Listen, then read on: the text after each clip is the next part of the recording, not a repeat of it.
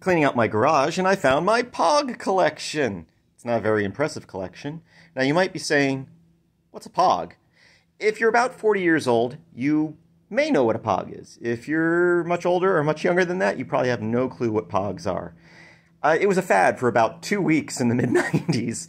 Uh, basically, they're kind of like trading cards, you know, like collecting baseball cards. Do people still collect baseball cards? Anyway, they, they, they have all these different pictures on them. There's these little discs. And then you would get a slammer. I have two slammers here. I have this uh, plastic one with the skull and crossbones on it. And I have this uh, metallic one with a eight ball and a skeleton on it.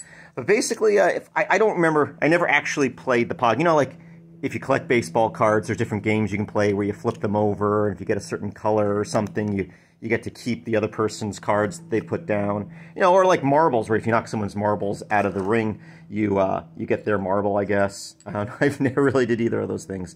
But basically, you know, you guys would stock, stack up your pogs, and then you would slam your slammer on it. I think it was called a slammer, or smasher, or something. And any ones that you get to flip over, you get to keep. I think that, that was basically the gist of it. Like I said, very, very short-lived fad in the mid-90s. Uh, if you were in middle school, like I was, you may have collected some yourself, or uh, at least had heard of them. And, uh, and then this was like a little container I would keep my pogs in. So, anyway, just a little blast from the past. Anyone else uh, remember pogs? Do you still have your pogs? I'm about to get rid of my pogs. It's, it's been 30 years. I think it's about time to let go.